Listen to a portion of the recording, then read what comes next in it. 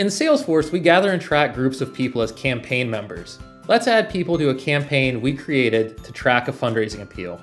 There are several ways we can add people to the campaign, one at a time, in groups, from a Salesforce report, or via an import. We can add contacts or leads, or a mixture of the two.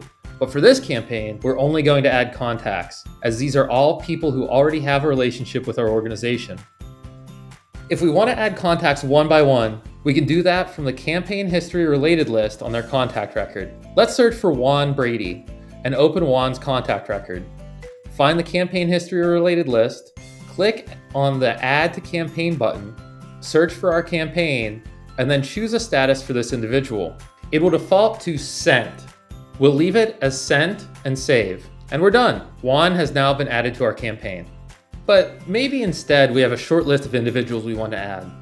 Let's go back to our campaign, find the campaign member related list, and click on Add Contacts.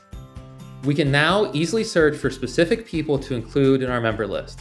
Let's search for Lisa Shaw and Park Tung, and add them both to our campaign. Once we've added the campaign members, click Next so we can set their status. Let's set the member status to Responded. If any of the individuals we're adding are already in the campaign, we can choose to keep existing member status or update the status. We're going to update the status as we want to make sure the status of responded is their final status. Both of these methods work fine for single contacts or small groups of people, but what if we want to add people to a campaign based on a report? We want to reach out to former donors who haven't given yet this year, and luckily NPSP already has a report for us. On the Reports tab, search for LYBUNT which means last year, but unfortunately not this year. Let's review the report criteria to confirm that we've eliminated people who've opted out of mailings and those with incomplete addresses. Once the report is just right, select Add to Campaign. We can choose the right campaign, or we can create a new one right now. See the What are campaigns and how would we use them video for help with creating campaigns.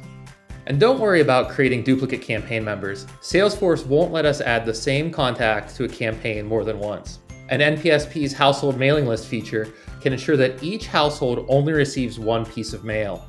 Please note that the Add to Campaign button is only available when your report type includes leads or contacts. If we had a list of people on a spreadsheet, we can also import them directly into a campaign. We'd click Import Leads and Contacts, on the campaign members related list and follow the prompts to use the Salesforce Data Import Wizard. Visit Salesforce Help and Training for how to import with this tool. Now that we've added all the people we want to contact, we can use this campaign to create mailing lists, send emails via our email platform, and track donations. For more information, check out the NPSP documentation and the other videos in the series on using campaigns with NPSP. Thanks for watching.